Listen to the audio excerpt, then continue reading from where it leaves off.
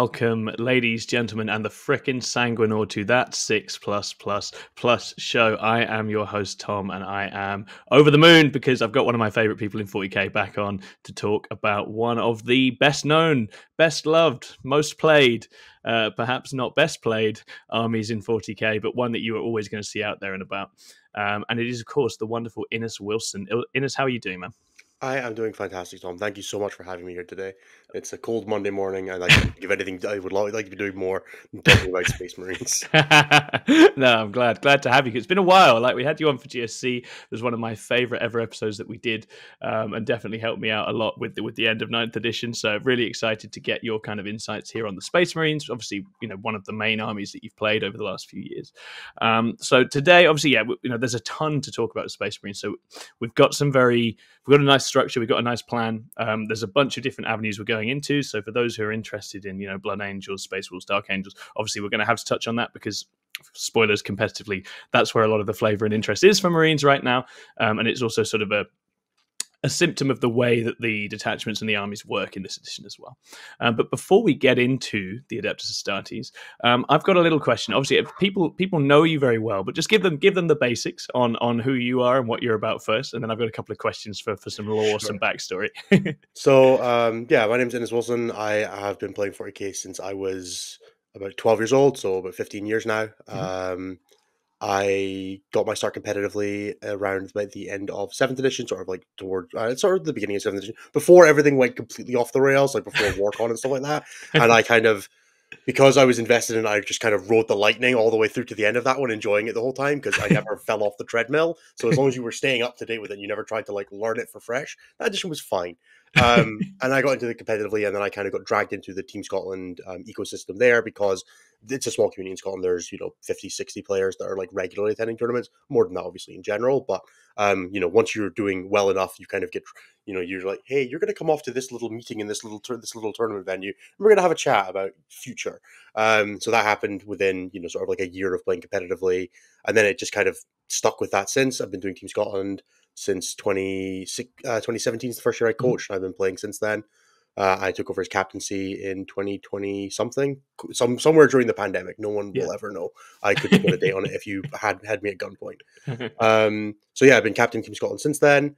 Um, and then outside of that, we I have been doing a ton of singles play. I had a podcast called Caledonian Deathwatch Radio with one of my hosts up here, uh, Liam O'Shea, which was a Scottish focused podcast. I did that for a couple of years, which gave me the opportunity to do a bunch of cool travel and things like that, going out to like the Netherlands and um, going over to there and a bunch of events out in England and cool stuff like that.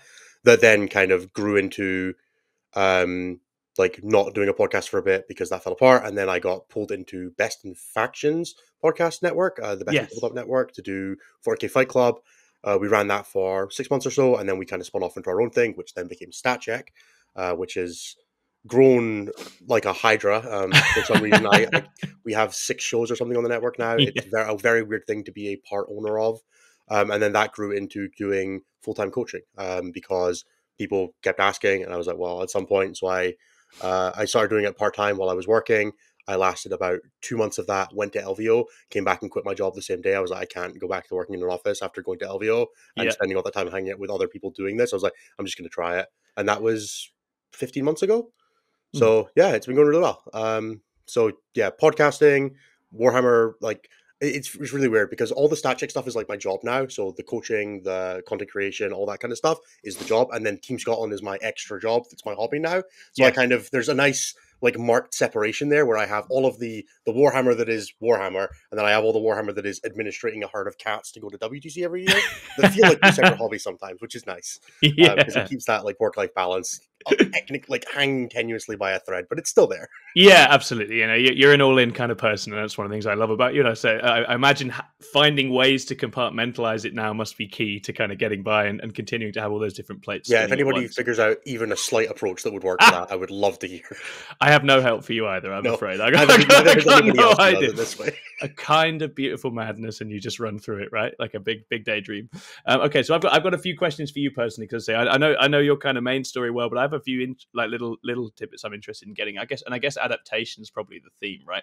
I think one for me is like obviously, yeah, you, you kind of got into the international scene from quite an early stage, and I guess for you as a as a person and player, what was the kind of process of adapting to that universe like? What kinds of things does it take to sort of step from being a sort of local or national player into being one who's got who's in that kind of WTC orbit and thinking about that more? It's really weird because I I have a very like privileged position in that I never really had to. Um, okay, interesting. I oh, I learned being a team player almost more than I learned being a singles player. Like, okay, I walked into it. I was not the best player in Scotland. I was a competent seventh or eighth slot. That was like yep. you know I got pulled in when we had players like Matt Edmonds and uh, Neil Powell and Aiden and Bernard Lee that were both playing. They were all playing in Scotland that were doing very well down south, and I was you know going three and two and four and one at these Scottish tournaments, and like I would win an RTT here and there, and I would maybe I would play the final table of almost all the tournaments, and that was like kind of where I was at for a mm. long time. Um, and I never really broke through into doing like really well singles wise until after I had come third at WTC, been at mm-hmm. WTC for years. It was really after like I did well at like singles events before the pandemic. Like, you know, I would come down to England, I would go four and one or whatever, right? I'd play the final table against Mike Poor and get smashed on stream, you know, all that good stuff. All, all the that everybody stuff. does. Yeah. Um, but after the pandemic, it kind of there was a little bit of a because I stayed up to date and kept, you know, playing and being involved in the community during that time, a lot of mm. people stepped away from the game a lot during that.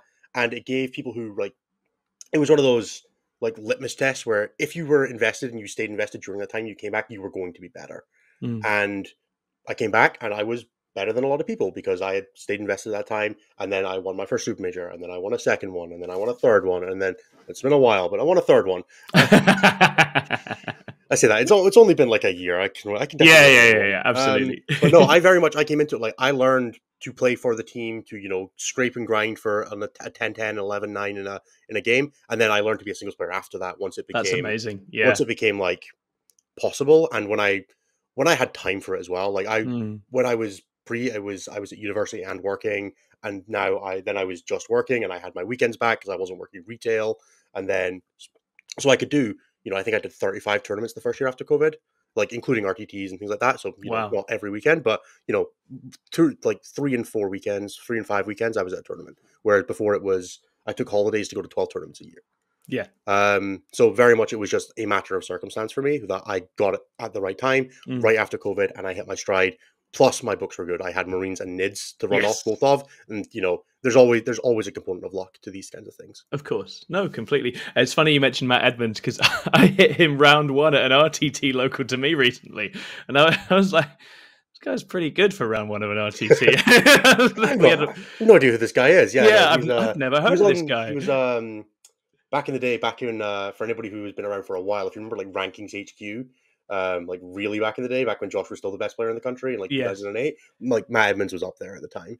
Wow. Like alongside him. So. Yeah. No, that was it. It was it was that kind of polished but not polished. Like I don't think he's played as much in recent times, but it was like but just all of the raw basic, you know, understandings and fundamentals were so was so tight and so obviously we had a really good, interesting game.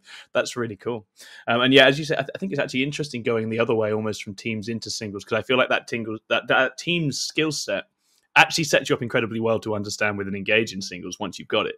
Um, but but acquiring it is quite a strange thing when you're just used to doing your thing and playing your army and bashing into whatever, right? And not and just focusing on winning games. Um, so yeah, really really interesting. My other question is is more of a, a recent Team Scotland thing. So obviously you're going through I think what's fair to call a sort of process of adaptation. You've had changes in the lineup and other other different things, and I, I, would imagine from the position of leadership that you're in, that's presented a whole bunch of challenges as well. So I'm very curious how you're kind of finding that that adaptation and how you've kind of been sort of rallying, I guess, a new, a new set of players and getting things ready for this WTC. Yeah, um, we've. I mean, we've done this now three times because we keep readapting every year. Because it's yeah. not quite second. Give me one second. I'm just no problem.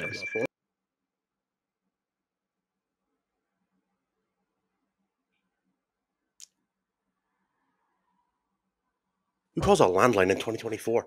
Uh, um, so yeah, we've we've definitely had like a couple of years of this reintroduction stage where coming off of COVID, we lost a bunch of players mm. and we stepped up to the people that were in the community that were available at the time, and then some of them weren't available the second year. So we readapted. We pulled up Brian Sipe, which was a wonderful, wonderful uh, backstabbing when he left me for America this year.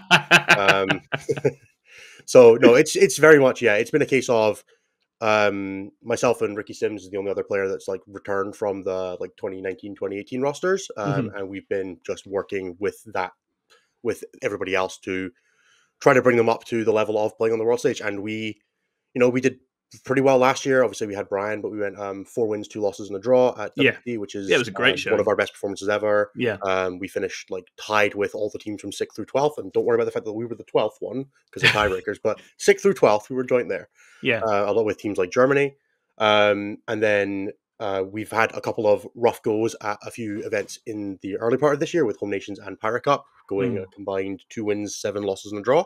Mhm. But we've had, you know, not had a coach at either of those events. Uh, anybody who knows having a coach at a team event is a massive, it's like, huge. adds Yeah. a point to every game you play, potentially more. Yeah. Um, and we had, we've been, you know, fighting for strength to strength, growing our players. I've got a bunch of new and hungry people that are excited to be going, and it's very much just getting them to the point where they they know that they're not the best players in the room, but also that it doesn't matter that they're not the best players in the room. That you can Yes. you can make Liam VSL in the aggregate. That's the Yes. you got to moneyball it, right? You gotta- yeah, not- but not every team can have Liam VSL, but teams Yeah. beat Liam. But teams beat Belgium because they have exactly. players who are better across the board at doing their job, and it's just finding people who are happy and comfortable on their list, getting them onto it as quickly as I can, and helping them grow within that space, which completely. you know works well with the skill set that I've got, and I'm hoping that we can uh, keep pushing that. I stepped back from doing a lot of the interpersonal side of the team Scotland stuff, so I have a co-captain now um, who does all of the administration and Mm, um, mm.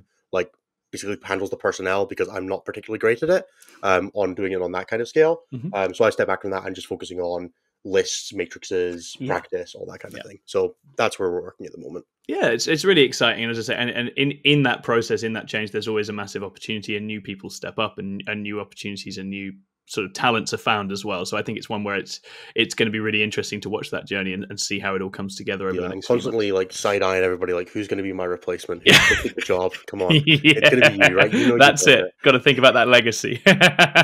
No, I just I just want to be able to just want to. I, I can't retire until I repl- until I do better than the third place. That's the problem. I, I've set a very unachievable goal by coming third in my first year.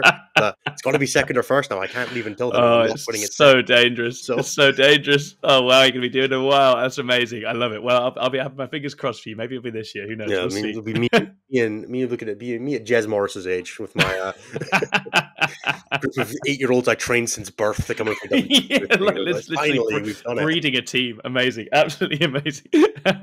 All right, right. Okay, that's enough background for now. We're going to get into the Space Marines. Um, Innes is a consummate professional, so he's given me a ton of notes to work with. We've got a bunch of detail. And so we've got a sort of a nice structure. We're going to be thinking about the different archetypes Marines fall under melee, shooting, mixed arms, different directions you can take, units that might break through that haven't been necessarily explored as much as they could be yet. And obviously, we're going to cast an eye towards the data slate because, in theory, it's imminent. So, hopefully, we'll have a data slate before very long. And with the wide range of units Marines have, obviously, a data slate is always a very interesting time. And it's very reasonable to think that's going to shake Marines up again. So, Innes has already got his got his BDI on what might what the future might hold. Um, before we get into the kind of nitty gritty and the analysis, what would you say the kind of overall role and place of Marines in the game typically is, and what's what's the appeal for a competitive player? Why why get on the Marine train? Sure. So Marines, everybody always talks about Marines as the subscription service army, which is definitely true, right? It's the army that you you hand your credit card over to GW and you're like, all right, on, three hundred pound a month and keep my army up to date, and they will. They'll keep your army up to date. Space Marines are never that bad.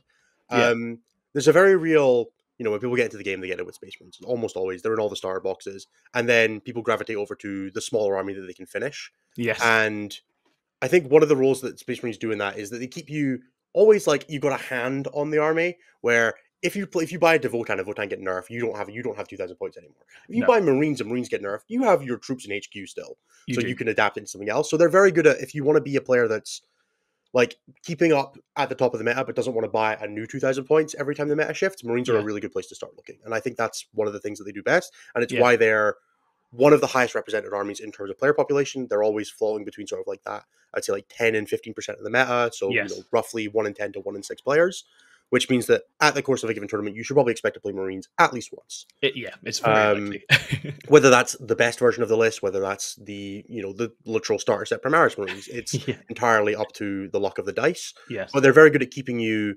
flexible and adaptable in a meta that is often very changing and very in flux between balanced data slates, new codexes, all that kind of thing. I don't think there's ever been a time that Marines haven't had a build that is, I would say, like at least, you know, if we put it into the classic like A tier, S tier, B tier, Yeah. C tier, like I don't think Marines have ever really been out of like at least low A tier. They've definitely had times where they're not the best option.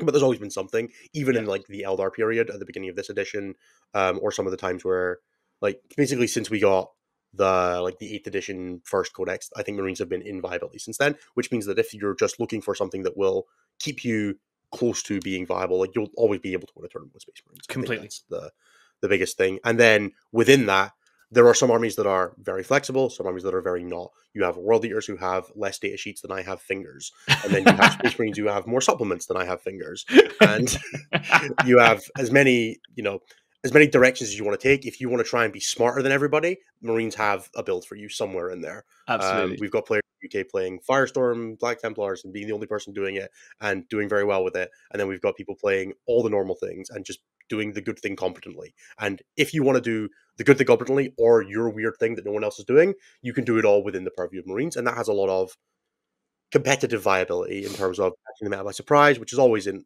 underrated by everybody that you play against and overrated by yourself yes. um, thing you do. You're never actually catching anybody surprise, but your opponent will not know how to play into you, and it's just how much that matters is always up in flux. Completely. Yeah. Uh, but Marines, Marines have it there for you if you want to try and be smart. Yeah, absolutely. No, that's amazing, isn't it? And I think it kind of suits their their fluff and their law, really. Tactical flexibility, bunch of different options, good at a whole bunch of different things. And I think it's fair to say that 10th edition has very much set them up in that style with the changes. Obviously, we've you know we've got indexes for the the kind of uh, sort of special special flavors, um, which which can kind of bleed into and be used across different detachments. We've got a codex with a bunch of detachments and baselines as well.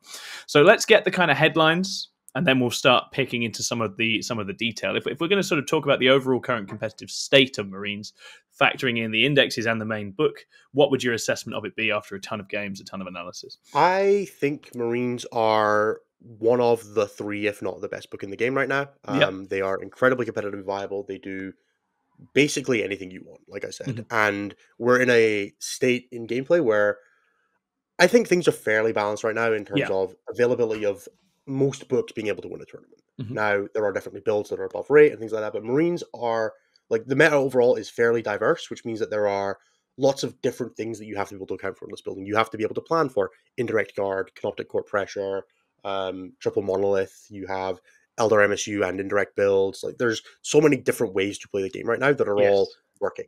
Yeah. And Marines have a tool set that can take any aspect of that and say, okay, I want to be good into that. Yes. And because of that, with that level of flexibility, you often find that armies, like, like I said, like World Eaters, if Custodes are popular, World Eaters probably can't be because they just don't match up well into that army Yeah. unless you are exceptionally more skilled than your opponent. And I can't count on that at the, the last rounds of a tournament. Mhm. Where Marines, if you're really worried about Canoptek Court, you can build a list that has a better than average game plan into Canoptek Court, and you can try to get lucky and pair it, or you can play a list that's just really good in general. And we can talk a bit about some of the future builds in the future, Sons of Sanguinius, that's just generally really strong yeah, um, absolutely. but you almost always have that level of flexibility to adapt to whatever is good right now. And I think Marines are absolutely doing that between probably, I would say, probably three main builds right now with um, Sons of Sanguinius, Gladius X, Mhm. and um, Iron Sword Black Templars. I think those are kind of the the main ones that are sticking out for me. Uh, and then like this decided addendum of if you're a psychopath, you can play a Storm Raven, uh, and it will be fine. Um, and like four people worldwide are doing well with that uh, and p- power to them, but couldn't be me. I don't want to pair a hammerhead and just get tabled. Um, Wonderful. Okay, well let's let's start branching out into some of those subcategories again. As as as you kind of alluded to, there's some of the indexes are really really getting helping to get extra juice out of different sort of versions. And as you say, you've got combat, shooting, and a real mixed arms flavor as well. So let's let's start with what you've termed high melee in your notes. I like the name high melee. That makes me feel good. So what what are the kind of branch of options here? What are the sort of subcategories? And what's what's the appeal and the use of, of sort of a melee focus in Marines right now? yeah. So high melee is a thing that definitely doesn't sound right if you've read the Marine Codex, but not the indexes, because there are no melee data sheets. In the Yeah, there's Marine Codex. not. You can run a regular assault terminators that get plus one to hit your oath target with their three attack thunderhammers. but if once you dive diverge out into the supplement chapters, there are lots and lots of very high powerful melee units. Mhm. Specifically, I've called out three, which is Sons of Sanguinius, Righteous Crusaders, and um, Space Wolves leaning into Stormlance from the Core Codex. Yes. Um, so Sons of Sanguinius is uh, broadly it's the plus two strength, plus one attack on the charge uh, chapter, which gives you a ton of access to um, basically making even Codex melee units punch reasonably up. Um, and then it has access to fight on death. Yes. um, and huge. then some of the most powerful like baseline data sheets in the game with Death Company, who Yes. natively reroll the hit, which alleviates pressure on Oath of Moment, which is a very core mechanic to Space Marines that has you basically have anger on in the sky, pointing down and saying that thing dies. Um, you know, much better than having an aura. I don't know why Yeah. anybody bothers with auras these days when you can just pick things to die. Um, so yeah, you have um, Death Company who have native hit rerolls, who have a very reasonable shooting attack, access to fight on death, obviously armor contempt across the board, helps a ton with survivability for Space Marines, um, and then yeah, jump units in general on basically every terrain format right now, even dub, even UKTC, which is notoriously probably the worst for melee staging. yeah. Um, jump units can cross the gap, and rapid ingress causes a lot of the difference Hmm. um, which makes Sons of Sanguinius very, very capable of dealing, you know, crushing damage to basically anybody, putting OC on objectives, and denying your opponent primary. Um, there's very little that it's bad at. Uh, it allies pretty well with things like an assassin. Um, you'll find that basically any list that we talk about for Space Marines, you can probably improve by swapping a scout squad out for a Callix, for a Callus assassin. yeah. Um, but if you're not playing with the Callus assassin, you want to run a scout squad, just anytime I say Callidus, autofill with scout squad, and you'll probably be fine except guard. Um, um, so yeah, it's something it's just very, very high pressure. It's what I've been playing the most recently. I've played it for my last three tournaments. Mhm. Um, it it feels like you're playing ninth edition melee units. That's like Yeah. the, the easiest way to describe it. You charge something with a Death Company squad, unless it is a two up save and armor of contempted and a minus one damage, it will die Yeah. if you hit it with a full squad. Um, watching like it, watching that that unit kill like two dread knights in an activation with like three guys and five guys because I couldn't quite get everybody and still having both of them die is a power trip you will feel with few other units. yeah, Um, absolutely. So Sun Sun's in an incredibly punchy spot. Having a ton of Inferno pistols doesn't hurt either. Just does not, able, no. it does got a little bit, a little bit more shooting kick than it meets the eye when you first first play into it. And as you say, it just has now. Now that the strength's a bit higher, and I mean to be fair, I think it always had game. It always had some degree of game. It was just that the meta was often a bit too crazy I to notice. right? think um, one of my one of my co-hosts on StatCheck put it well. Um, the plus one strength didn't make this detachment, but it made us look at it, Yeah, um, exactly. which exactly. I think is probably fair. Yeah, absolutely. And so, of, of the other melee, melee flavors, obviously Black Templars and the Stormlance Thunderwolves, the old Wolf Jail, yep. slightly Well, different flavors. Um, Black Templars, Righteous Crusaders is a build that I think is very underplayed because it's a miserable build to like put on the table a little bit. Where you're playing broadly, the core of it is something along the lines of two 20 man bricks of Primaris Crusaders, which are two in models, um, 10 of which are Space Marines, 10 of which are Scouts. Uh, and then you attach one with Grimaldus, who gives them a five up feel no pain or advance and charge. Um, and then you attach one of them with a character with Tannhauser's bones, which is an enhancement that gives you a six up feel no, pa- uh, gives you a, a five up feel no pain as long as you pick the army wide six up feel no pain, which weirdly you're probably going to do. yeah, Um, so you end up with these two very, very durable bricks, which do pretty reasonable damage into the right kinds of target. You can have things like crit fives and lethal and sustained with like changing the vows in Righteous Crusaders, and then you back that up with the like incredibly powerful melee unit that is Sword Brethren, who Yes. are basically imagine chosen, but instead of advancing charging, they just hit you in the face really, say, really hard. yeah, real um, chosen energy. Yeah, they hand out they hand out plus one damage or plus one attack uh, at the start of each fight phase. So when you combine that with something like Helbrecht, who gets um, like damage two sweeps at AP three, or um, damage four as main attack, also does more wounds at the start of the charge phase. You combine that with um, a character like a Judicar that gives you fight first to make them very difficult to charge. You put them in impulsors, you put them in Land Raider Redeemers. Land Raider Redeemer, very powerful data sheet. Depends on terrain format a little bit, but you know, ten Sword Brethren with um, Lamar with uh, Helbrecht and a character that gives them lethal hits, like a lieutenant, will kill basically anything it touches. You Yeah, have so many attacks with Oath of Moment. The other units don't really require it because they're mostly just hitting you with like AP1 attacks.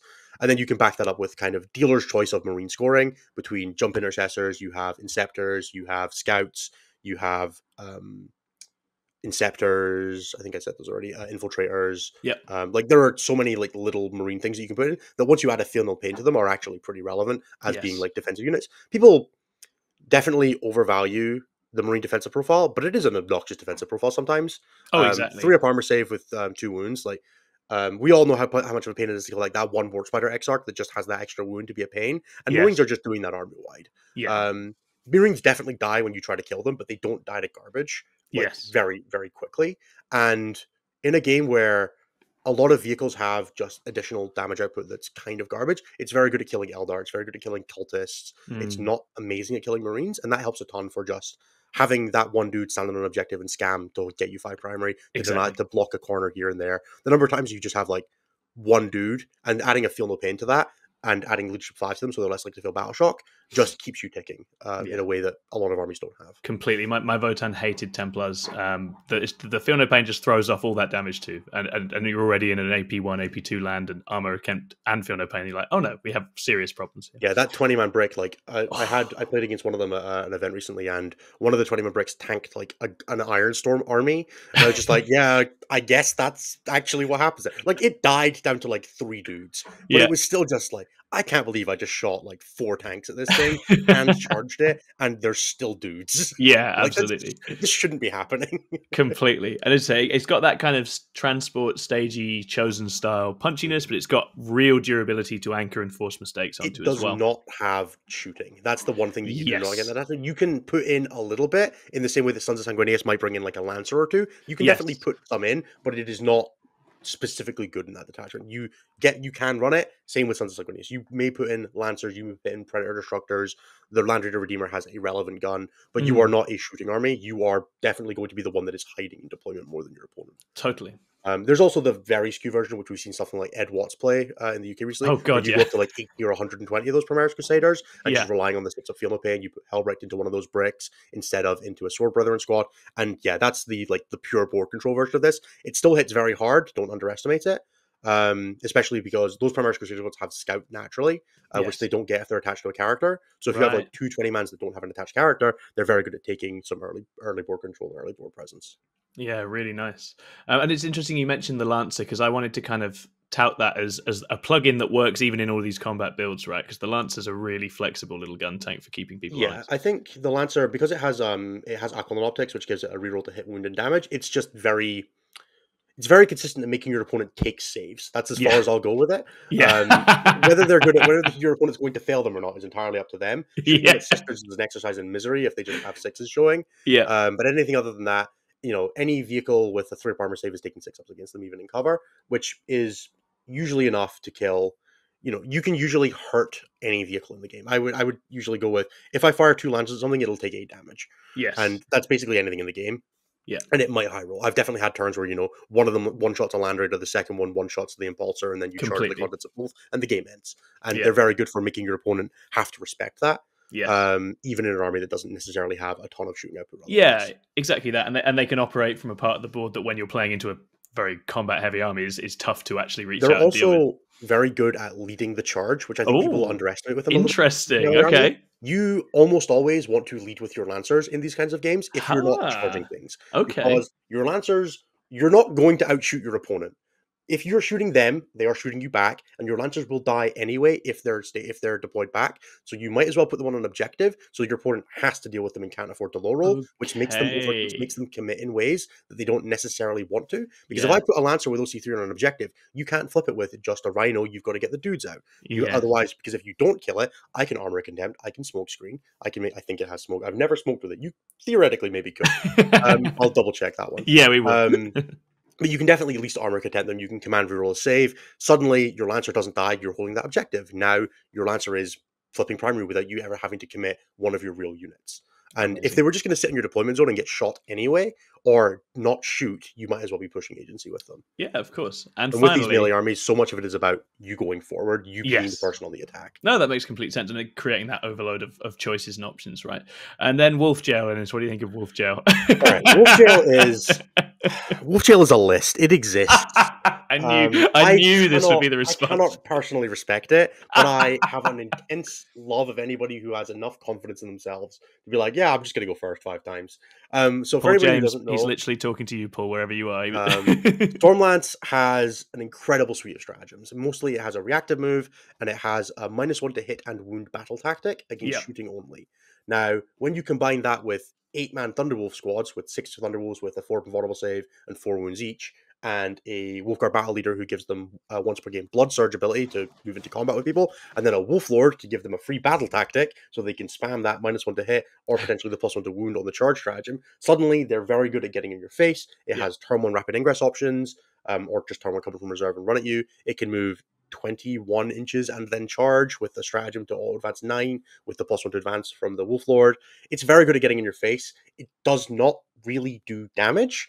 It's No, it good at putting you in a box and going, if you die to AP1 damage 2, you're you're going to have a bad time. And if you don't die to AP one damage two, you're going to sit there in your deployment zone for a while. Yeah. And it's very good at doing that. It it plays a lot like um, Chaos Chosen from the previous meta, where it makes the characters hit pretty hard with their Thunderhammer, their Lightning Claws, whatever, because they get plus one damage, and they do a decent amount of damage. But the units themselves are a little underwhelming. They then fall back in charge, they charge back in, they get their plus one damage again, they hurt Mm. you. They are very bad at getting charged because they don't get their plus one damage on the charge, or Mm. when they're charged, only when they're being offensive.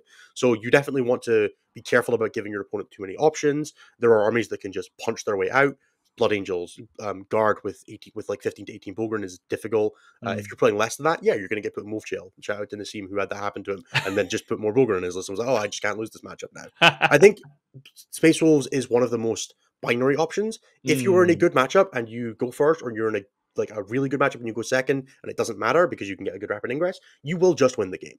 And if you're in a bad matchup, there is almost no capacity to play your way out of a hole. You are just Yeah. data sheeting at people. completely. Um, and I think that that when you are trying to go do a deep run at a tournament where you want to be in like a contention for winning it, Wolf, like Stormlance isn't a great option. But if you just want to try and win as many games as you can and have fun doing it, Stormlance is great for that. I think it's very and don't get me wrong, you definitely can win a GT, you can win a major with it because you could just get a good run of matchups. Anybody completely. can just get a good run of matchups. GSC won a tournament recently yeah. um, but I wouldn't call it. I would say it's the least reliable of any of the marine builds that are like within the sphere of viability right now. Sort of like to use the colloquial term, like B tier or above. I think Mhm. Stormlance is like floating around that B tier where it can punch up, it can have a good game here and there. You could win a GT, but you're going to be working against your army to make it happen a lot.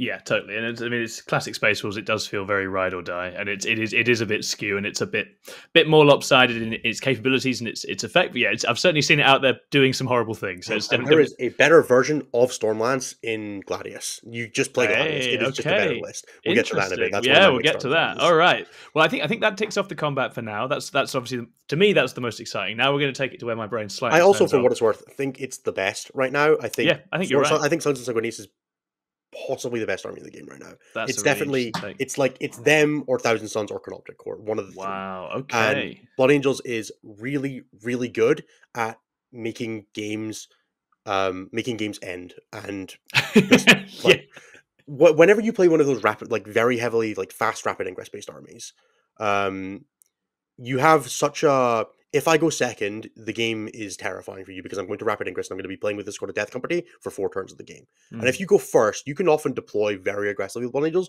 to just take complete control of the midboard and push your opponent so far back that they will never score primary without being very scared of you. And when you have an army that is that good at going first and going second into almost every matchup, it is very difficult to play around because you have to deploy with enough level of aggression that you can take command of the board if you go first so that you're not completely shut down by the rapid ingress, but also deploy aggressively enough that you don't just have to run away from them after you go second if you go Yes. second. So Yeah. it's very, very difficult to play against. Um there it's a lot of you know, it's a lot of knife edge. Any melee army is. If you fail Yes. a charge, you, you just don't do damage. Yeah. Um, you know, there are definitely the capacity for the game to end on a failed three inch charge that you don't have a CP to Mm. reroll because you had to do damage somewhere else, or you know, things like that, which does make it, you know, it's a vulnerable best army in the game. It's not, you know, Absolutely. but it's definitely up there, and I, Oh, been incredible, incredibly powerful. So Yeah. its ability to answer the range of questions the game actually represents at the moment is is really really good and I say and it, and it just has so much damage um, which is always a really really powerful place to be speaking of so much damage we're going to take it to high shooting next okay this is this isn't my wheelhouse I'm not, I'm not a massive fan of the all-in shooting builds but it's fair to say marines have some real real shooting potential if you skew hard into that so let, let's talk about what marines are doing with their guns right now in that that book definitely says, "Do you want to shoot?" Like the core codex is, "Do you Yeah. want to shoot?" The Yeah. indexes are, "Do you want to punch things?" yeah absolutely Um, and never the two shall meet in a list. Like apparently, it's just illegal. Uh, the attachments are never good for both of them, except maybe Gladius. Um, okay, there are again. I think there are two real ones here, and one that's kind of interesting, much in the same way that I had Stormlance. I think there is um, Ironstorm Black Templars. It is just good. Unfortunately, Yeah, it's it really really annoying. Um, you put somewhere between nine and thirteen of your favorite hulls of Space Marines on the board, and it will shoot harder than any army in the game yeah it's um, incredible there you're, there is an argument that again Thousand Sons within 12 will shoot harder and then at any other range bracket it is it is iron storm Mhm. um it definitely it needs line of sight it's it's very I have this thing with Ironstorm. It's a very fair run at you shooting army. Oh, it is. It's very that honest. It doesn't like people aren't really running whirlwinds. You know, Nope. it's just tanks coming at you, and it's Yeah. like, can you answer the tanks? Yeah. And if you go yes, well, Ironstorm will go. Well, I didn't have a plan B. yeah, yeah. it really is. Um, there are definitely some versions of it that will run higher on the scoring, which is the version that I was playing. Um, you're kind of to, to very quickly run through it. Ironstorm gives you um, some detachment benefit that doesn't really matter that involves rerolls to hit and wound, um, like one reroll to hit or wound every time you activate. Almost irrelevant. What it gives you is the stratagem called Mercy's Weakness and an aura of advanced shoot and an aura of lethal hits for Yeah. vehicles, and that's it. If they didn't have a detachment rule, I think you'd still play Ironstorm almost exactly the same. Yeah. Um, it'd be a little worse for like a couple data sheets, but Yeah. really it's about those three abilities. Mercy's Weakness is a stratagem that gives you if you're targeting a unit that's damaged, um, you get sustained hits. And if it's a vehicle that you are using it on for your unit, it gets sustained hit, it gets critical fives, which Wow. then stacks with the lethal hits. Um, so you have things like Gladiator Reapers, Gladiator Valiants, um, Predators, Whirlwinds. Frankly, anything that has a shooting profile Mm. is massively improved by going Oath of Moment, Mercy's Weakness on you, remove your unit. Yeah. Um, and there are not a lot of things that that won't kill. You're Mhm. talking like 12 devastating wounds on average out of a Gladiator Reaper that targets an infantry unit without stratagem because it has sustained its two and full rerolls. You can just chase fives with plus one to hit from a tech marine. Um, you know, you'll pick up most of a Bullgryn squad from like a six man. And that's just something not a lot of armies can sustain. It's No. pretty terrifying on Overwatch because it can Yeah. sustain its two there. oh, it you is. have Yeah. Gladiator Lancers, you have Predators, Gladiator Valiants in sort of like the um, the Team England build recently. It it really doesn't matter what vehicles you run. I think that's one of the like the weirder open secrets of Ironstorm is that it really does just kind of pick your favorite eight to eight to thir- eight to thirteen and then decide if you want scoring on top of it. Yeah. The only one that's like I think mandatory, you will probably see two or three Gladiator Reapers in every build because Yeah. they're just the best on rate data sheet and you will volume, usually at the Yeah. moment see the eliminator impulsor because rules abuse is fun and we all enjoy doing it and we all feel really smart when we're explaining it to our opponents um, which is to say you can run an impulsor and uh, six eliminators with um, the instigator bolt carbines that allows them to fire and then uh, re-embark in the transport which then means they can disembark after the impulsor moves before it moves whatever fire their guns and then re-embark in the impulsor and then the impulsor has firing deck six fire the guns again Amazing. it's stupid. It's the only points upgrade war gear in the game right now. That's how I describe it. You can pay It's an 75 points extremely add, funny add thing. eight las cannons to your yeah. eight las cannons to your impulsor. It's really funny. It gives you really good scoring in the late game. I would probably run like one squad in an impulsor, even if it didn't work like that. But the Mm. fact that it does makes it very easy. Um, that unit, because it has fire and fade, it can disembark after the impulsor moves, disembark after the impulsor advances. You can buff the impulsor as it's a vehicle. Um, I, I've had that thing one shot, you know, anything up to and including land raiders, Mm. just between the like the the um, eight las cannon shots with lethal hits, sustained hits, um, of moment, all that good stuff. It, it's just incredible damage output. Absolutely. Um, and then you have kind of do you want scoring? There are a lot of options for the scoring components in there. Um, we've seen uh, the traditional is probably like rhinos full of crusaders, like the Black Templars infantry guys. They just come with multi meltas and uh, melta gun and an inferno pistol for 75 points of OC2 and a transport. Um, so I was running like four squads of them inside two rhinos just for firing, decking multi meltas and driving about and stealing objectives. Made the Custodes matchup very fun because you they could very rarely hide 10 OC on an objective. Um, so you just dump Crusaders on it and be like, are you going to come out and kill them? Cool, die now. Um, you can definitely go down the route of things like infiltrators to hold your backfield a little more aggressively. I was playing a whirlwind, so less important. Um, there's also things like uh, one of the ones that's been growing in popularity is the incursors in an impulsor. Uh, the incursors Mm. naturally, naturally have scout, which confers to the impulsor, so it's quite good at getting up the board. You're playing Black Ah. Templars, so um, all of your like um, Primaris vehicles have a free multi melt attached. So that squad has, you know, you can run it with the um, the Bellicatus missile and the multi melta. It's got like a reasonable amount of forward pressure damage. You can go like 18 inches forward on turn one with the scout move, and then the incursors themselves have um, they basically point at a unit and go plus one to hit against it. So Oh, they're nice. quite good for just giving you like that little burst of extra damage output against something that isn't oathed necessarily Mm. um, which can help you get some damage up. But they're also, you know, a grenade unit they can get at the board to proc um, damage on something for Mercy's weakness because you have to pre-damage in order to use that stratagem. So there's like there's a little bit of gameplay there. Um, we've seen things like Hellblasters and Infernus Marines inside Impulsors well to take use of firing deck. Like Mm. there's lots of the detachment is kind of just throw a dartboard at your favorite marine vehicles and scoring units, and you'll build a competent list. It's hard Yeah. to get it wrong with Ironstorm um, nice. because it's just giving you good stuff. I think Mm. it's it's definitely the training wheels Space Marine Army. It doesn't require a ton out of you. You're just going to shoot things and score some points. Hmm. Um, it can be a little bit vulnerable to getting trapped in this deployment zone. You know, you go second against something like, um, you know, a very heavy scout moving army like World Eaters. You're going to be deploying very far back. You don't have a ton of counter melee. You can definitely add some in. I've seen versions with Sword Brethren, Helbrecht, all that kind of thing. But it's definitely struggling on that. Um, if you want to go down the Redemptors route, there's a different list that's similar to this. Don't play Hmm. Redemptors in Black Templar's Ironstorm. It is not worth it. You will probably not have a great time. Um, I maybe I could I could see it. Like we tried them a bunch at the beginning. I think everybody saw the um, like Triple War One, Triple Redemptors when the Space Marine Codex dropped. yes, Everybody was playing that for a while, and it very quickly dropped off. Obviously, yeah, it, it didn't really hit the heights, did it? Have both Yeah. gone off. Have both gone up in points since then. Redemptors are still a fine data sheet, but just don't expect them to like they're damaged by committee. I think is the way I describe Redemptors. And Ironstorm usually works best when it's just independent data sheets doing a thing, getting like increased to greater heights by abilities. Where Redemptors are not amazing shooting, not amazing fighting, a little bit of everything. The Yeah. Ironstorm is sometimes doesn't necessarily need. They're also quite awkward to move a lot of the time because They are a little bit slow. Um, and they, you know, they have to charge to get to do damage, which means getting around terrain can be a little awkward.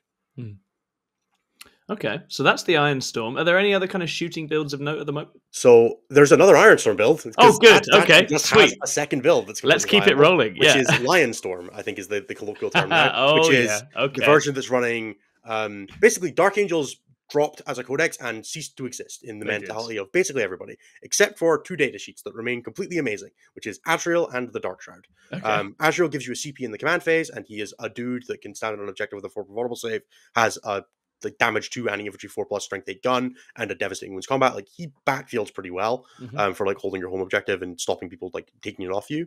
Um, like you'll mess up some more spiders. Like you'll lose the primary, but you're getting it back.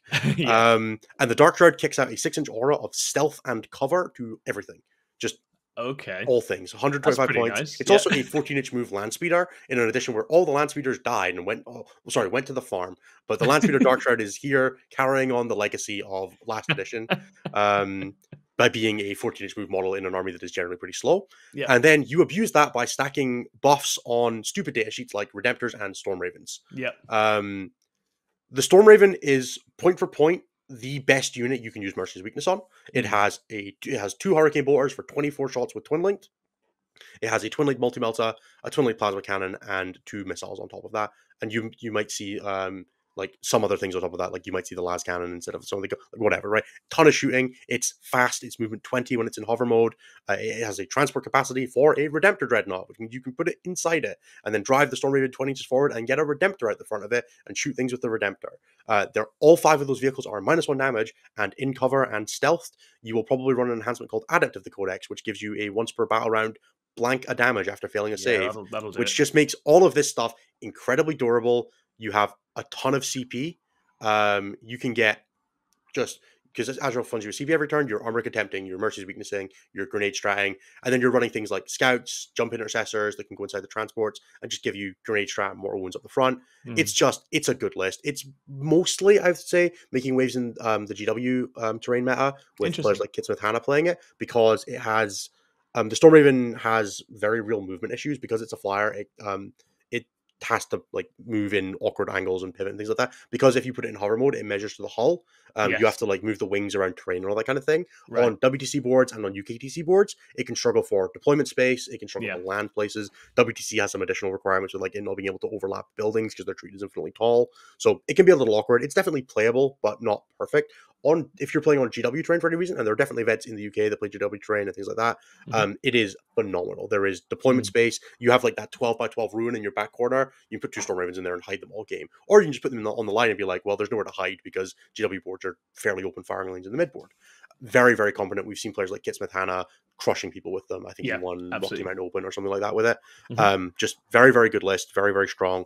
I think it's a little binary. Um, it Yes. does one thing very well. It's durable, toughness, 10 hulls with minus one damage. If you can deal with that, um, you're going to then you're going to have a bad time as the person on the receiving end. If you just can't kill your opponent, you can't get to them, you know there are there are matchups that are tough. It also like doesn't have an invulnerable save, which makes the Thousand Sons matchup unpleasant. yes, it does. Yes, it does. Yeah, so that's I think I think for the Ironstorm stuff, it the, the overall feel I've had playing into it and seeing it out there is, as you say, it's it's quite honest. It, it it's very potent at what it does, but it, you know what it's going to do, and it does have a certain set of weaknesses and vulnerabilities. But as soon as it hits a straight shootout, it's just going to absolutely yeah. clean up every time. I would say playing Ironstorm across like I, th- I think I played Ironstorm for like four or five tournaments. The only game I ever played that I didn't feel like I was competitive was playing against MSU Eldar because I just couldn't catch it all. I think yeah. I killed like five units a turn for five turns, and then you ended with like you ended with three units, but they were all on three objectives and denying me five primary. Yes, just like I don't understand how I've killed everything, but I can't score points. Been bamboozled. And Ironstorm yeah. is very very vulnerable to that. Outside of that, the games with it are like quite clean. Um, yeah, absolutely. often the games will be very much. I have shoved ten tanks at you. Can you deal with this? And the other opponent goes no, and you go cool. So remove your models now. And yeah. it's not.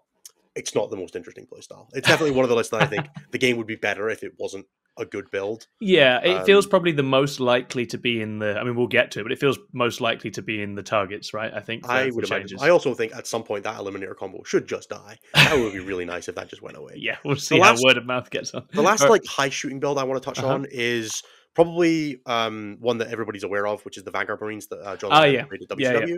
Um, that build is definitely a high shooting build. Um, it does have you know some melee units and things like that with Calgar, uh, but that build moved has generally moved away from running the aggressor brick into running an eradicator brick for points reasons because that the eradicator unit went up 40 points mm. and inceptors went up 20 points per three. Um, and that list is playing, you know, somewhere in the region of like 12 to 15 inceptors and an eradicator brick. Um, and then you have the Devastator Centurions with um, Uppy Downey from Uriel Ventris, and it's the only build that I would say is like a core Space Marine build. Like it plays the Marine Codex yes. as it stands. Um, it is very good in the right hands, but very vulnerable to making small mistakes, Completely. which I think is a reason that we don't see it a ton. Mm. Is that if you are not going to play that list like John Lennon, you're probably not going to get John Lennon level results out of it. Yeah. which is to say, you are going to be playing very carefully around edges and shooting people and abusing your minus one to hit and minus one wound, uh, minus and cover to take mm. exactly the right amount of no damage while nuking things with the Devastator Centurions every turn while getting yeah. CP out of Calgar. Uh, and controlling poor space with the eradicators and the threat of inceptors. Completely. Um, if you make mistakes with that build and you try to drop in, you drop inceptors in the wrong place and they die. You put your centurions in the wrong place and they get charged, or not even charged. If somebody gets within three inches of them, then that unit turns offline because they can't go back into reserve because they had to be outside three. Um, it's very, very vulnerable to very small mistake going wrong for it. And if you're a player who is vulnerable to getting aggressed and getting pressured, then it is, you know, it's a, a list that is likely to you're going to slip up with it. But it is an unreasonable amount of shooting for that that one turn. It's like so that turn killing. two of shooting, it will kill whatever it needs to. And yeah. if it can make if you can make the game stick with that, if your target part is right, if you played the early game in a way to make your opponent expose the assets you needed to, so much of these kind of space marine builds are because you're so good at killing exactly one thing with Oath of Moment, a lot of the game plan that you're trying to do is restrict your opponent's options by either controlling space or killing their small units that yep. they have to start using the things you need to kill so that you are getting value out of your Oath of Moment If your Oath of Moment is going on the scout squad that you know yeah. is going to kill, but you can commit a little less to it, that's fine. But what you want to be doing is if there's three or four important units in your army, is making your opponent play in such a way that they give you one of them a turn to yeah. deal with because they have to, because you are controlling their gameplay to the point where they can't avoid it. Completely. Um, and that's what Vanguard is really, really good at yes. if you're an expert with Vanguard. Yes, yeah, it's very cerebral. It's very punishing. I've played into it with with very sort of meat and potatoes armies like Votann, and you're like, I just cannot cannot lay a glove on this thing when it's played well. Like it's just I'm being danced around and picked off. But as you say, it's got that House of Cards feeling that it's it's it, a lot of its play is tied up in a couple of things. If they get locked down or damaged, then it, it falls away very quickly. Yeah, exactly. It's just if you're not John Lennon or Brodie Middleton out in Australia, I've just not seen people getting results with it. Really, yeah, there have been a few people doing fine with it. I think is the but nobody's really been hitting the same heights. It obviously got nerfed from WCW, but we all saw it on stream against Manny and doing like incredible things in the in the finals and semifinals. So it's it's a build that I would definitely keep an eye on going into the balance data slate. I think it's the one that nobody nobody's playing it right now, and it's yeah. it's still really good. So amazing. Okay, right. Well, we're going to take it towards mixed arms um, because Marines certainly do that very well, and they've always been touted in that way. So, what what are the kind of mixed arms options if you want to mix it up between the shooting yeah. and the combat? Um, I think mixed arms is it's not a misnomer for Marines because Gladius is just a wild detachment. Um, it's one of the Gladius is one of the best designed detachments that just exists. I think yeah. there is very little I can say about it that isn't. It does almost everything reasonably competently, and if you are willing to spend resources, it can make anything sing. Yeah. You can increase your shooting, you can increase your melee, you can make your units more flexible, you can make them more durable. You can do basically anything once, or if you're willing to spend CP.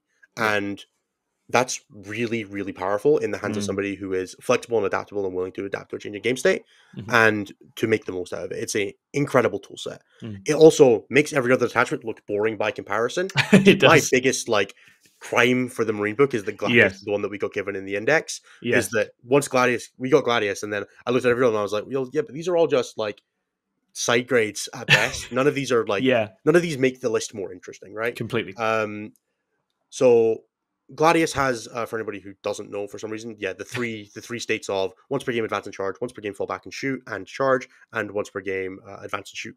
And then it has three stratagems that are key to those um, for plus one, uh, ignore cover and plus one AP if you're in Devastator Doctrine, which is the advanced shoot one, Lance and plus one AP if you're in Assault Doctrine, which is the advanced charge one, and then um, you, you have a reactive move stratagem that becomes flat six inches if you are in uh, the fallback and shoot doctrine yes. um, which gives you a ton of tactical flexibility. You then have armor contempt. You have put a unit into any of the doctrines, and you have a um, generic fight on death, which again, a very very powerful thing to have access to.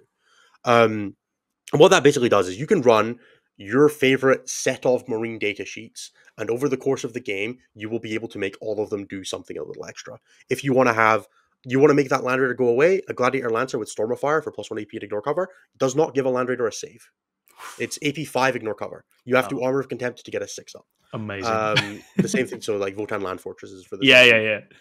Um, you almost always just you just pick a thing, it goes away for a CP if you're willing to spend in that turn. You have um, Lance plus one AP to make any melee unit punch significantly above its weight. This was very popular with Deathwing Knights. It's now um, I would say things like Wulfen, Thunderwolf Cavalry, um, Death Company, um, anything that's sort of like in that general sphere of data sheet that wants to hit but has a little bit of an AP gate, giving it plus one to wound and, and plus one AP, keep pushing to AP three, AP two on that volume is incredible. You just do Mm. so much damage. You have reactive moves to get back into transports if you're playing with stuff that's playing out of impulsors or land raiders. Um, Gladius just does everything, and there are like, I don't I don't have like a specific build for Gladius in mind, but there are.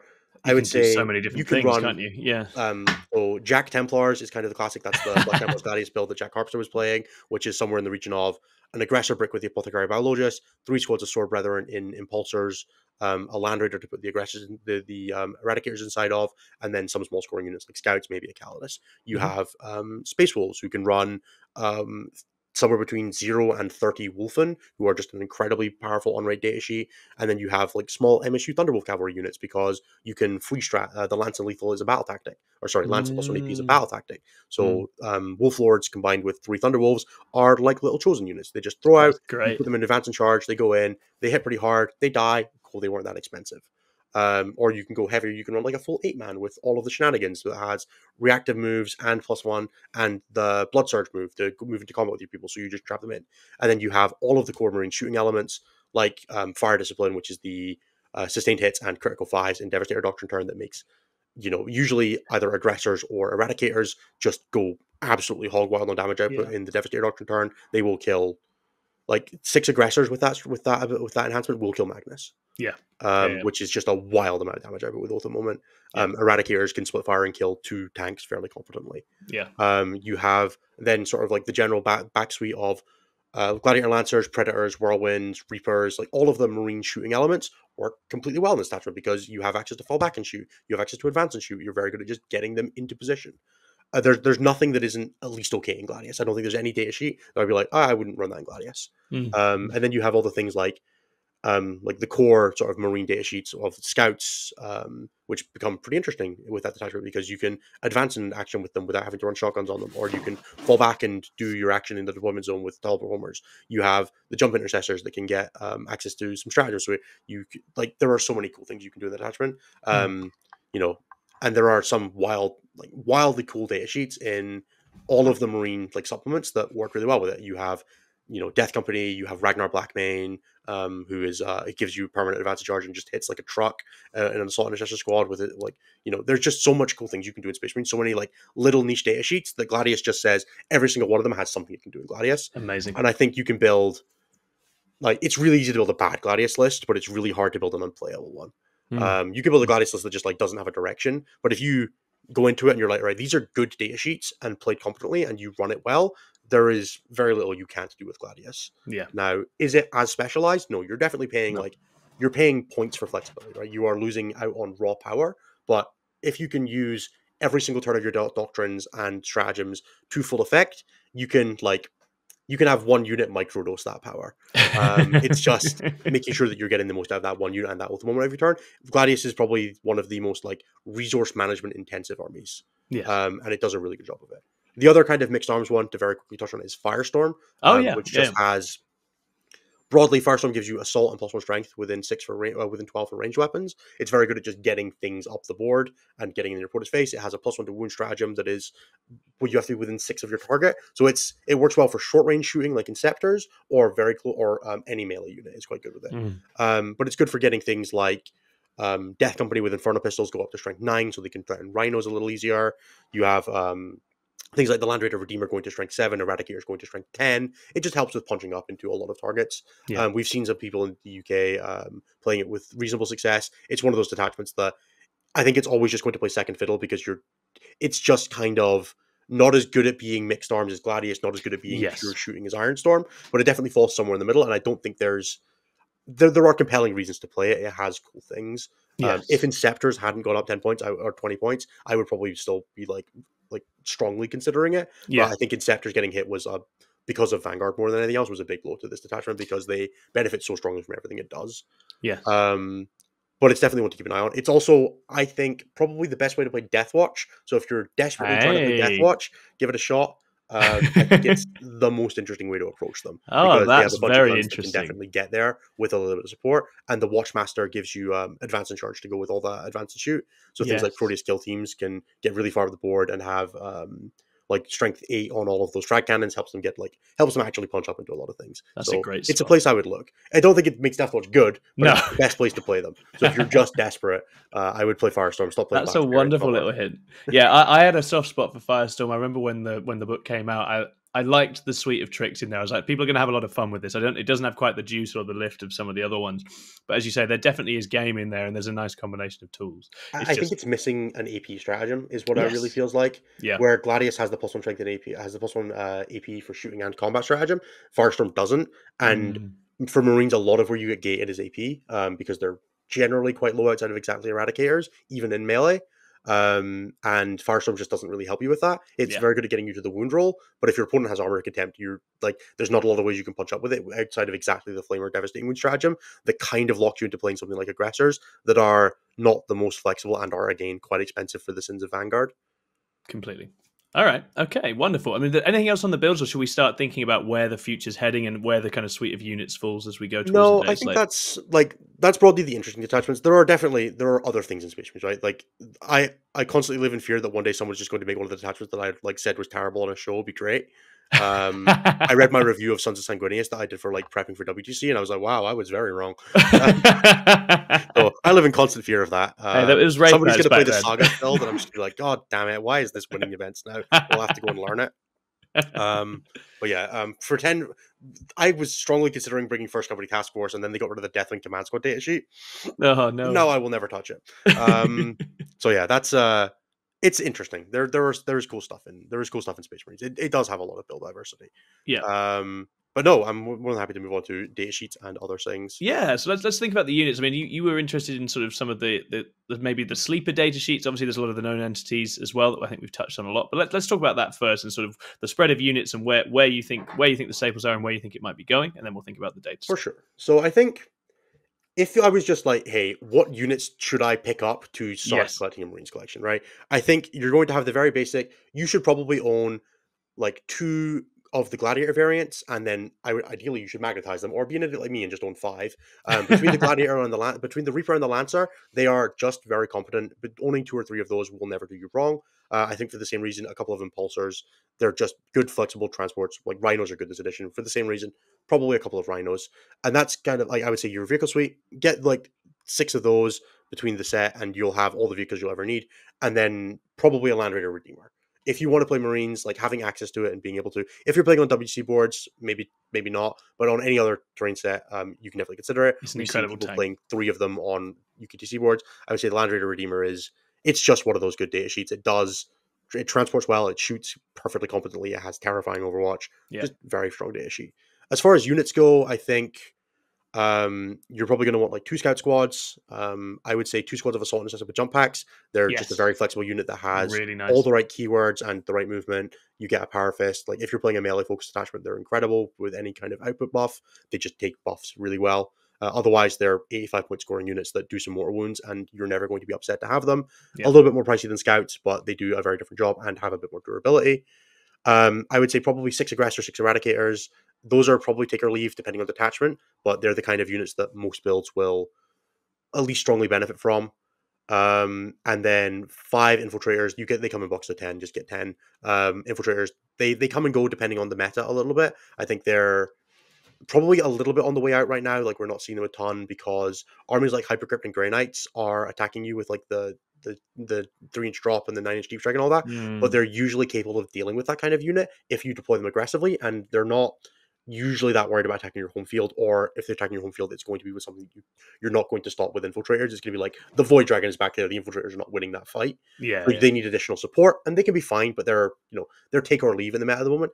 Mm. With Gene Circle Codex on the horizon and things like that, um, you know, I'm sure Alpha Legion are going to have an uppy downy detachment. Oh surely, yeah. hundred percent. Like Uppy downy obliterate. Let's uppy- go. no, no, uppy downy, uppy downy Forge Fiends. That's what we all want in our life, right? um, that you may see them come back around um, again, plus or minus the Phobos Librarian that gives them effectively lone operative, a very very like competent little combination, but expensive at 175 points.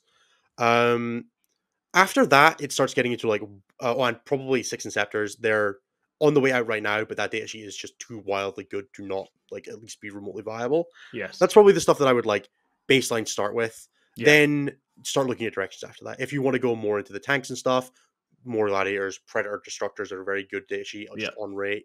Um, if you want to go more into the melee stuff, start looking at the like specific data sheets from chapters. Yeah. Death Company, Thunderwolves, um, Mm. Sword Brethren, and the characters to support them. Um, but yeah, that's kind of like the I would say the baseline stuff. Yeah, There's also core. people are not playing the whirlwind, and I don't get it. I goddamn love that thing. Every Definitely list I play good, that wants right? to shoot, I want Yeah. a whirlwind. It's just I, I I view it as paying 80 points to make my infiltrators have a gun, and then I Yeah. just leave them on my home objective, and I'm like, "Ah, I would pay 80 points for that. Yeah. Um, but yeah, the whirlwind has definitely been on the way out. I still think there's a play in three, but I refuse to do it because I'm saving it for WTC. Um, he said lying.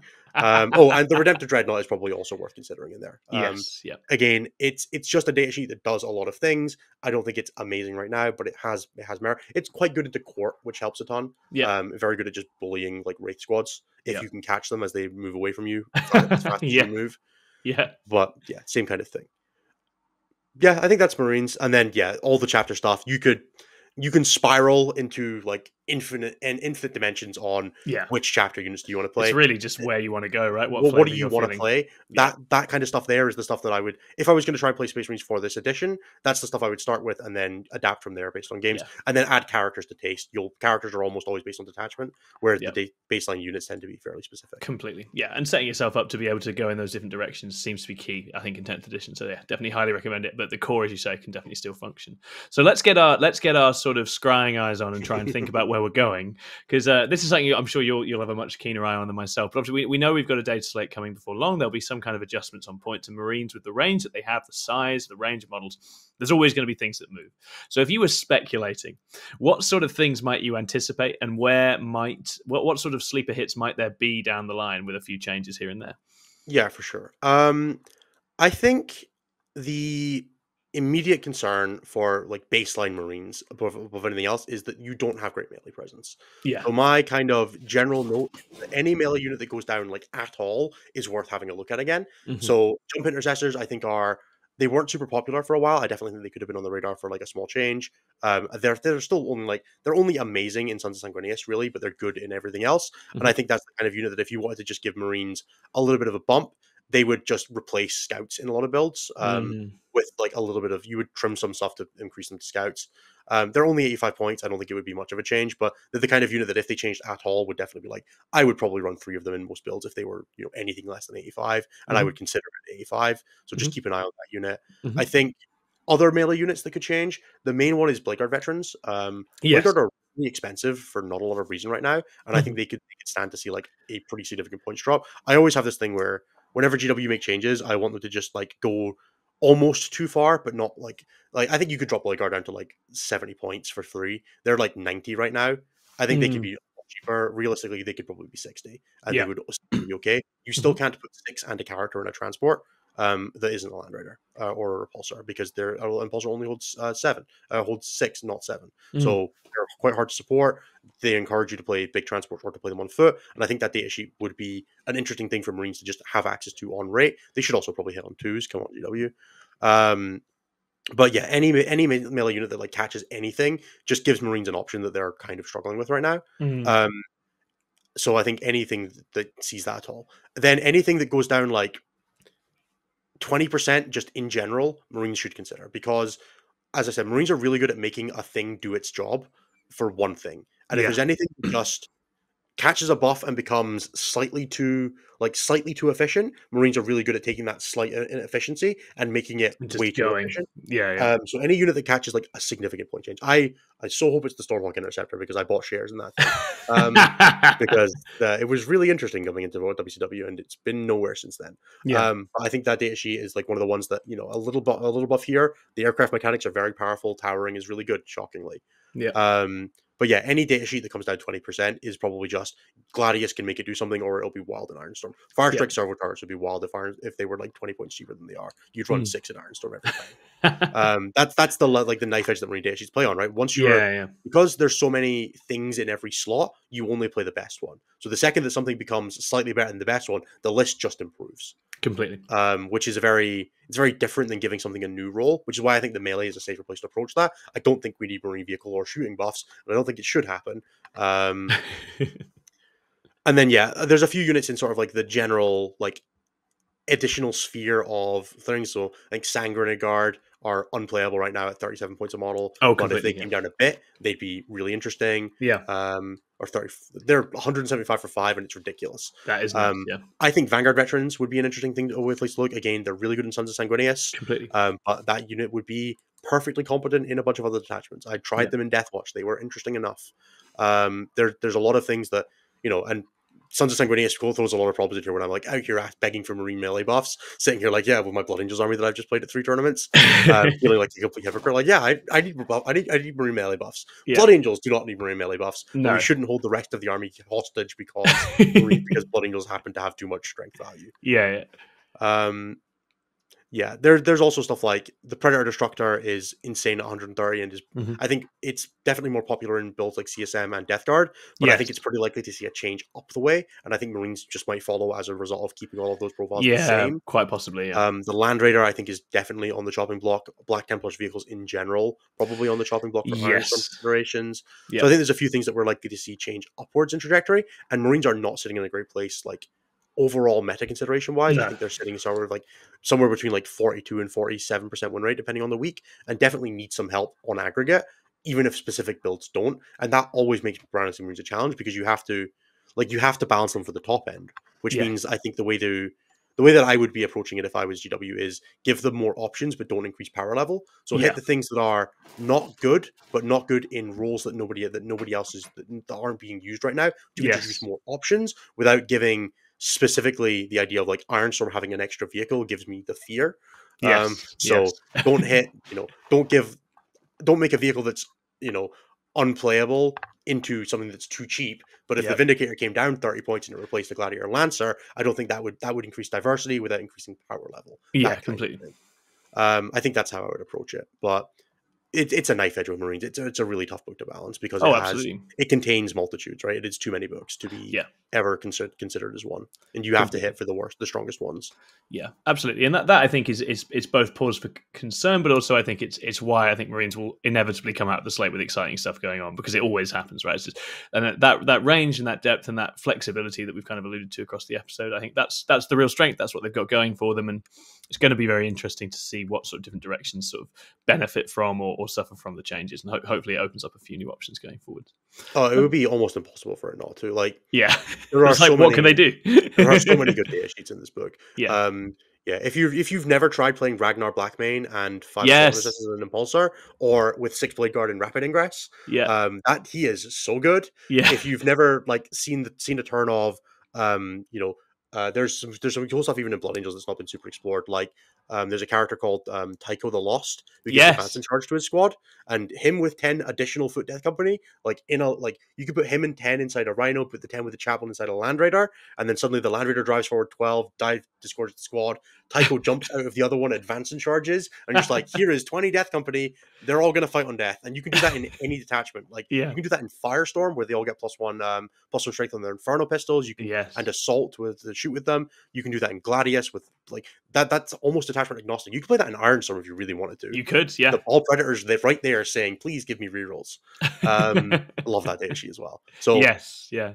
like there will be changes for Marines coming. There they will be suck for some builds, but Ironstorm is probably not going anywhere. That detachment's too No. efficient. I can't imagine Sun Sanguinius being hit particularly hard because No. it's new, novel, and cool. And it also it's one of those armies that you put it on the table and it looks like it's just come out of a white dwarf, and you're all you're like, oh, okay, cool. So this That's- is the thing. that's the absolute wants to be dream. Good. Yeah, Yeah. exactly. You know, GW, you know, GW just like rubbing their hands together. at The idea that like Space Marines and transports with back- backed up by some by like four tanks is the, is a great build right now. They're Yeah. like, oh my god, we nailed it. We did it. We, we did it, boys. We managed it. This was the dream. Yeah. This is what we The, the. Rhinos, Predators, and Land Raiders edition. It's so Yeah. confusing. it's crazy. It's a very weird time. It's, it's literally it's a it's a window into when I came into the game because I literally came into the game at a point where all the things that my sort of post like teenage brain would go, oh, obviously I'm going to get these. Everyone's telling me they're garbage, and now suddenly, for the first time playing the game, it's like, oh, it's the classic tanks. It's it's, it's all the it's all the old stuff. We're doing it.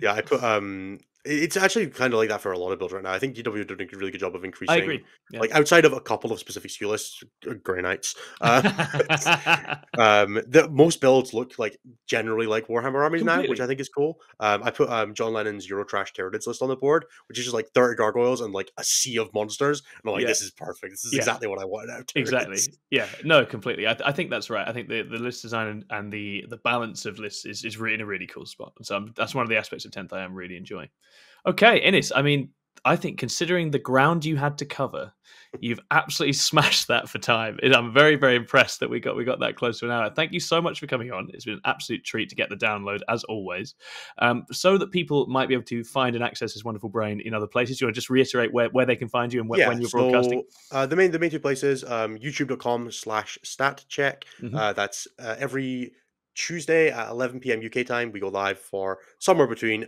an hour and a half and four hours, usually two, um, for the usual stat check. That's us covering um, like the most recent week in uh, for in metadata, Mhm. any events we've been at, and then just generally vamping on the state of Warhammer right now. And there's also a bunch of other shows on the network that are super awesome, but I'm not going to check them out right now. Mhm. Um, but go and check that out. Or you can check out stat-check.com for everything else we do. That's got all of the um, the metadata dashboard, which has all of the stats and things like that that I've been alluding to over the course of the episode. It's got um, our articles and all that kind of thing on there. So if Mhm. that's something you're interested in, check either of those out. It would be greatly appreciated. Uh, also, you can just drop me a message on Discord. I'm uh, just Innes Wilson.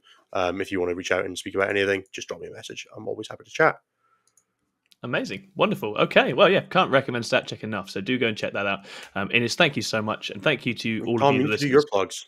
Oh, I've got to do my plugs. Oh goodness, I'm not as good at plugs as you. Don't forget that we are Six Plus Plus. Do hit like and subscribe. We love that good stuff. Leave us a comment. Let us know um, what kind of Space Marine things have been working for you. I would love to hear that. And you can, of course, sign up to be a member on our YouTube and support us that way as well. And what, what data sheet do you most want to get buffed? Come on, call to action. Get it in the comments. Yes. What data sheet would you like to see buff? What marine build? Is it going to be Anvil somehow coming back? Is, is Firestorm going to dominate the Reapers, come entire meta? Buff 'em.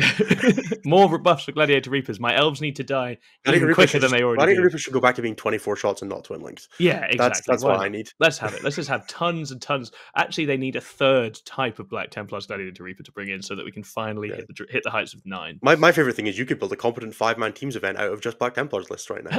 Uh, don't worry about that statement. That's a, that's a teams event someone needs to host. I'm here for it. I think GW right. used to run ones where you didn't have faction requirements. You could so you could just play uh like four different like you could have just four people in the same Imperial Fist gun line. I think they should bring that back. Just show up with Black Templars, Righteous Crusaders, Iron oh, Storm, Gladius, so and. Firestorm. A true like, let's tournament. go. Yeah, that's amazing. Four Helbrechts leading four detachments. It's just different timelines of the same crusade. As you can see, guys, there is a risk. Me and Innes will just keep talking for ages. So I'm I am going to sign off now. But loads of love to you all. We'll see you again next time. Bye bye.